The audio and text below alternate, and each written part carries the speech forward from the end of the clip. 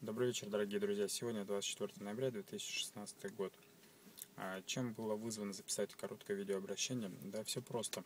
Друзья, знакомые, коллеги звонят и сообщают мне о том, что а, на федеральном канале НТВ в программе «Первая передача», которую ведет э, господин Травин, был опубликован частично мой видеоролик, автором которого я являюсь под названием «ППСП.